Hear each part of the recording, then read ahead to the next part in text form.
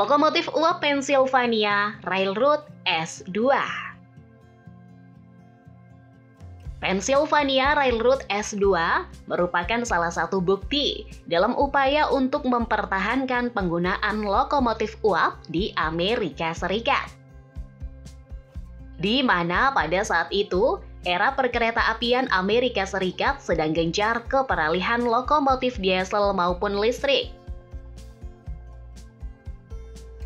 Lokomotif uap PRR S2 mengusung teknologi turbin uap yang dirancang dan dibangun oleh kolaborasi dua perusahaan, yaitu Baldwin Locomotive Works dan Westinghouse Electric Manufacturing Company.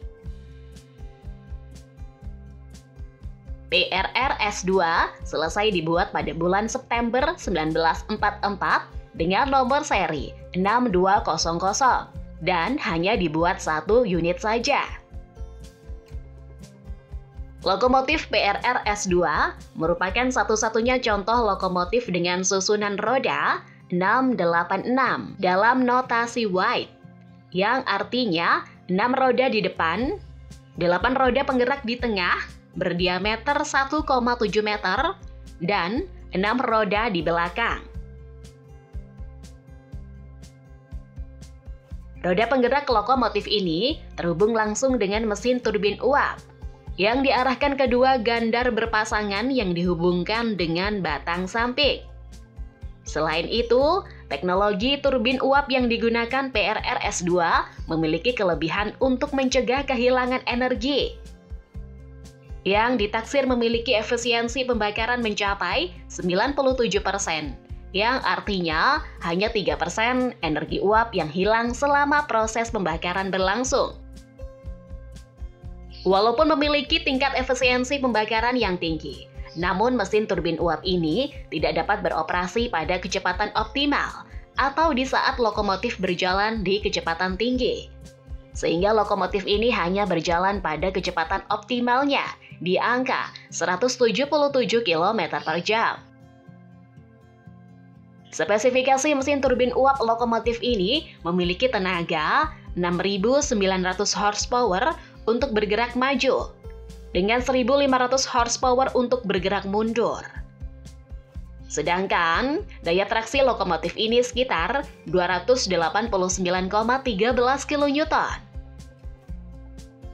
Lokomotif PRR S2 memiliki panjang sekitar 37,37 meter tinggi 4,8 meter, dan berat total sekitar 468 ton. Lokomotif ini ditugaskan untuk melayani berbagai kereta penumpang di wilayah Amerika Serikat untuk tujuan New York ke Chicago, seperti The Broadway Limited, The Liberty Limited, The General, dan masih banyak lagi. Selain kereta penumpang, BRRS 2 juga digunakan untuk menarik kereta pasukan dan kereta barang ekspres. Lokomotif BRRS 2 telah menempuh jarak total sekitar 165.000 km yang dimulai pada 26 Maret 1945 hingga masa operasional terakhir pada 11 Juni 1949.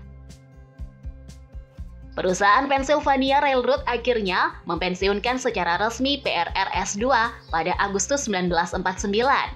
Dan satu-satunya unit lokomotif PRRS-2 ini akhirnya dibongkar di tahun 1952. Hal tersebut yang menyebabkan bahwa tidak ada unit atau contoh lokomotif PRRS-2 yang bertahan hingga sekarang dan sedikit informasi maupun bukti dokumentasi berupa foto maupun video dari lokomotif uap PRRS-2. Sebagai informasi tambahan, lokomotif uap PRRS-2 merupakan lokomotif dengan mesin turbin uap terbesar, terberat, dan tercepat yang pernah dibuat oleh manusia.